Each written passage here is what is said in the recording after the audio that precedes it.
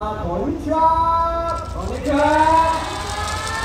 大阪からやってまいりました。無限回復です、えー、今年のテーマはモノクロの朝うんモノクロの朝にこの歌をというテーマでやっております、えー、花々しく感謝の演舞というテーマになります。どうぞ皆様よろしくお願いします。